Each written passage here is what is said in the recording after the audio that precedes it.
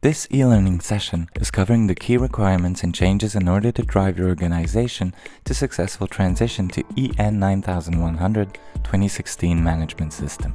Focusing on the changes and the new standard expectations, this e-learning module has been designed to guide you through our intuitive digital platform, from an introduction to a quiz section. A helpful audio kit will also bring complementary information to what you'll see on the screen and you'll be able to refer back to previous content at any time.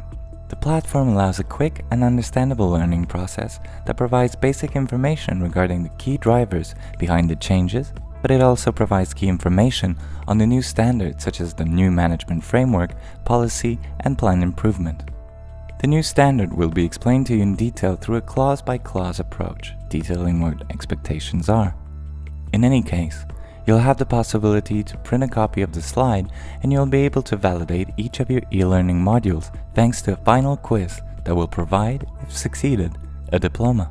This e-learning module is also applicable for organizations willing to get certified against AS and JISQ 9100-2016. We are looking forward to seeing you on our Bureau Veritas e-commerce platform.